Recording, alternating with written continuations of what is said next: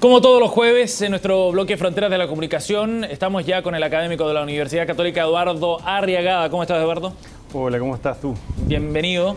Un nuevo escenario. Así es. Como todas las vacaciones. Temporalmente, temporalmente, mientras nos preparamos para la temporada 2016. empezar el año con casa nueva. Sí, pues en marzo vamos a estar ahí con estudio renovado. Ah, pero qué bien. Oye, Eduardo, eh, Hoy día el tema que nos convoca es el de la automatización, los robots que van tomando cierta eh, preponderancia en nuestra vida diaria. Sí, yo quería contextualizarlo un poco. Este es un tema que ha estado en esta misma columna dos veces. Sí, lo hemos conversado. hemos hablado incluso del robot y de, mm, y de, cómo se van juntando. Yo, yo traje un gráfico, no sé si lo, podremos usar. Eh, que, que, habla de, una tendencia nueva que se llama este tema de las plataformas, que lo mencionamos también hace tres o cuatro semanas, Ahí está el gráfico. Eh, y lo que muestra es que en los últimos años distintas industrias convergen en estas pantallas táctiles que nosotros tenemos en nuestro bolsillo, los teléfonos, las tabletas. Entonces, tanto el mundo de la computación, los juegos, la televisión, la radio, la telefonía, por supuesto, todas las interfaces se van juntando en estos aparatos. Claro. ¿Por qué voy a esto? Porque esta semana una noticia de una casa hermana nosotros, en el fondo la BBC, cerró su división de radio y su división de televisión. Y eh, la cambió por una división de entretenimiento e información.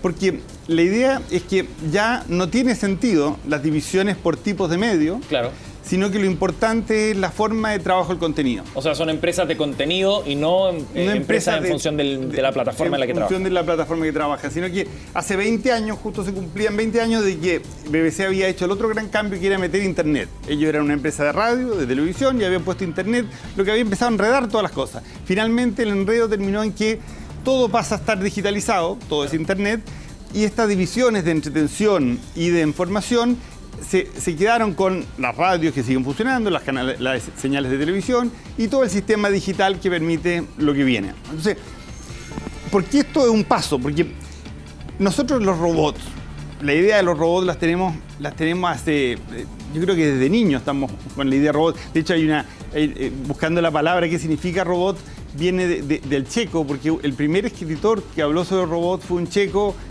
un escritor de ciencia ficción, y decía que, y viene de una palabra checa y robota que, tiene que ver como trabajo obligatorio, porque la idea del robot era que hiciera cosas que para los hombres eran incómodas de hacer. Y ahí viene un poco el gran tema que está saliendo ahora, que es estos robots que empiezan a reemplazar trabajo humano. Eh, primero fueron robots más bien industriales y ahora están haciendo temas de información, de tecnología, con lo que se llama la inteligencia artificial. Entonces, ¿por qué tomé el tema de la BBC al principio? Porque las pantallas, estas que hemos hablado tantas veces, tienen tal nivel de, sofisticación los procesadores que tienen, que se han convertido en los cerebros de las máquinas de, muchos de estos robots. Baxter es un robot que hemos mostrado otras veces aquí mismo. Eh, toda la inteligencia del robot es un iPad.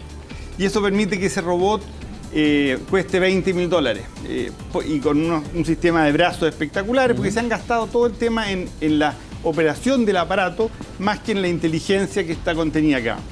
Entonces, yo, yo quiero llamar la atención de un tema que estaba leyendo un libro de, un amigo nuestro, una persona que ha estado en, Chile varias veces, Alex Ross, fue, fue el secretario adjunto de Hillary Clinton en la época que ella era eh, canciller de Estados Unidos cuando fue secretario de Estado. Eh, eh, él era la persona encargada de tecnología. Ale que había estado a cargo de toda la campaña de, su contendor, de Obama, en, la, campaña electoral del 2008. Y eh, él, le apoyó a Hillary en, en el gobierno. Y él acaba de sacar un libro sobre estos temas de la automatización. Y me llamó la atención un tema que me pareció bien delicado. Decía, ¿dónde se está haciendo robótica? Decía, es básicamente Estados Unidos, algo en Europa, pero fundamentalmente en Asia. Eh, por ejemplo, Corea, un país donde tiene una, explosión de la robótica, un país de 50 millones de habitantes, tiene mucho más robótica que la suma de Centroamérica, Sudamérica, África, África entera, India, que son 2.800 millones. Es decir, hay más robots en, Corea del Sur que en, todo el resto de nuestros países, claro. donde está incluido Chile. Y eso le ha permitido dar en parte eh, ese salto económico, ¿no? Impresionante. es decir, uno pesca eh, Corea del Sur 50 años atrás, era igual que Sudán, y hoy día una potencia. Y, yo creo que ahí nos estamos, nos estamos perdiendo el tren. En el fondo, China en este momento que uno lo tiene asociado a estos países como de productor de por trabajo barato, en fondo, hoy día tiene provincias enteras que han apostado para que todas sus fábricas se automaticen. Y, y, está haciendo un salto tremendo. Solo en Japón hay 300.000 robots funcionando, del 1,4 millones de robots que hay en el mundo funcionando, estos robots más sofisticados. Claro, Entonces, yo creo que aquí hay un tema como muy atractivo como para que nosotros nos vayamos como preocupando como, como país. En Chile está muy atrasado en la materia, ¿no? Estamos muy atrás. Fondo, eh, así, tenemos las universidades haciendo algunas cosas de automatización, pero en, en medicina se están haciendo cosas, así se traen equipos pero no es un tema y, yo creo que debemos ponernos un poco las pilas.